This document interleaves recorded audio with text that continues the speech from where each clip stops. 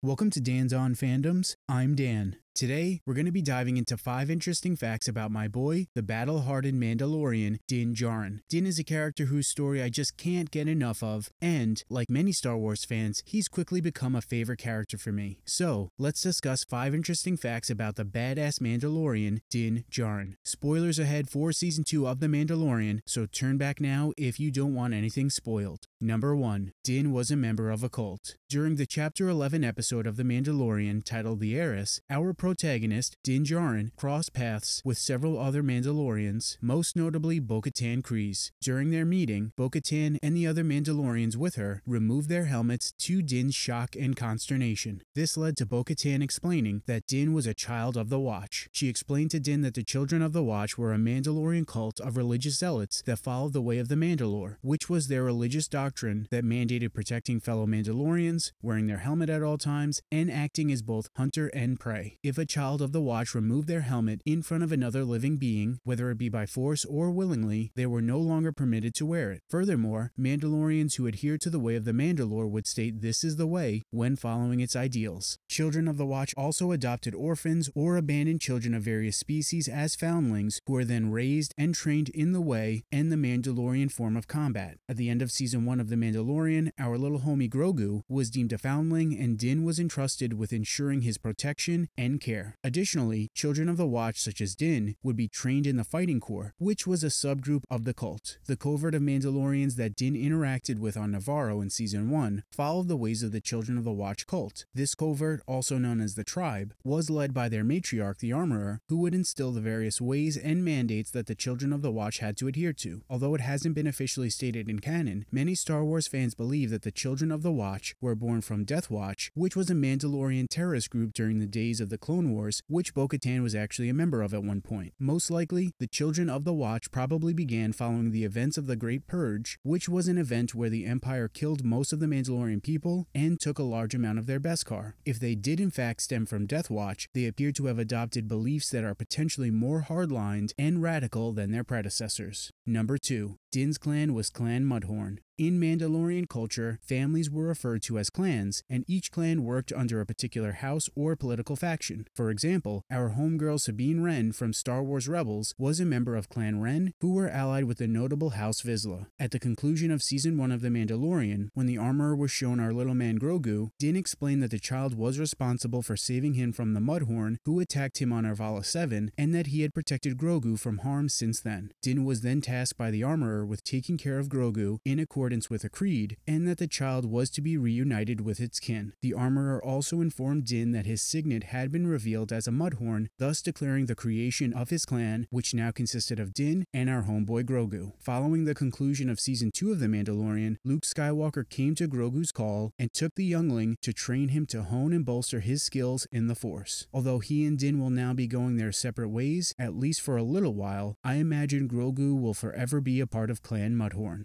Number 3. Din's sniper rifle appeared long before The Mandalorian aired. In the current canon, Din's sniper rifle, which is an Amban phase pulse blaster, first appeared with our homeboy Din's first appearance in Chapter 1 of The Mandalorian on November 12, 2019. However, the Amban phase pulse blaster's design can actually be traced back to the much maligned 1978 Star Wars Holiday Special. In the animated segment of the special, which is actually the first Star Wars television property and the first appearance of Boba Fett and Mandalorian armor, our homie Boba Fett can be seen rocking an Amban Phase Pulse Blaster. Dave Filoni and Jon Favreau sought to pay homage to the holiday special by outfitting Din with a badass sniper rifle and having him encounter a similar situation as Boba Fett did in the holiday special. In Chapter 1, Din used his Amban Phase Pulse Blaster to ward off a Ravinak attempting to devour the Razor Crest, much like Boba Fett did in the holiday special when he used his Amban Phase Pulse Blaster to ward off a Panna Dragon. During Chapter 14, it appears Din's sniper rifle was destroyed after Moff Gideon's Class 546 cruiser destroyed the Razor Crest and everything within the ship, which is where Din's Amban Phase Pulse Blaster was left. Let's hope our boy gets himself a new one. Number 4. Speaking of the Razor Crest, the ship was pretty badass. It's unknown when Din actually came into ownership of the Razor Crest, but once it came into his possession, Homeboy lived and worked from it as he hunted bounties in the Outer Rim territories in the early days of the New Republic. The Razor Crest was initially built as a gunship military craft at some point before the formation of the Galactic Empire, and in 19 BBY, it was used to patrol local territories. The Crest had two laser cannons, two engines, and a hyperdrive. It could be piloted by one individual and had room for two others. It also contained an astromech interface socket. However, due to Din's distrust of droids, it remained unused. Din had a variety of equipment in the Crest cargo hold, including a vac tube, a weapons locker that stored a multitude of weapons and blasters, and a carbonite freezing chamber Din used to carbon freeze his bounties. As previously mentioned, Moff Gideon destroyed the Razor Crest when Din and Grogu traveled to Tython to reach out to a Jedi. Number 5. Technically, Din could now be viewed as a potential leader of the Mandalorian people. During Chapter 16 of The Mandalorian, Din rescued our little homie Grogu and wound up dueling Moff Gideon, who possessed the Darksaber in the process. After defeating Gideon and taking the Darksaber from him, Din offered the ancient lightsaber to Bo-Katan, who refused to take it from him. According to Mandalorian custom, one could only obtain the Darksaber by defeating the previous owner in combat. Should they have claimed it any other way, their claim to the saber would be considered illegitimate, which is why Bo-Katan refused to accept it from Din. In Mandalorian culture, the Darksaber was respected as a symbol for the leadership of House Vizsla and later on Death Watch. In Season 4 of Rebels, because of its status within Mandalorian culture, Bo-Katan was given the Darksaber by Sabine Wren in an attempt to unify Mandalore and defeat the Imperial occupation of the planet. Now that Din possesses the Darksaber, coupled with his battles and victories over the Empire, other Mandalorians may view him as their Mandalore, which is the title assumed by the sole leader of the Mandalorian people. Season 3 of The Mandalorian could see